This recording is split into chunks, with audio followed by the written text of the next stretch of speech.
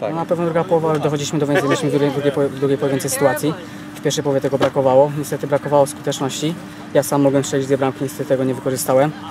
Na pewno w drugiej połowie już to lepiej wyglądało niż w pierwszej. Stwarzaliśmy więcej sytuacji i na pewno druga połowa bardziej mi się podobała niż pierwsza. Miałem taką dogodną sytuację akurat z głowy.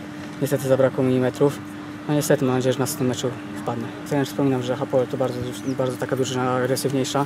Będzie na pewno to ciężki mecz, ale myślę, że stawiliśmy czoła i dobrze wyglądaliśmy na tle tej drużyny.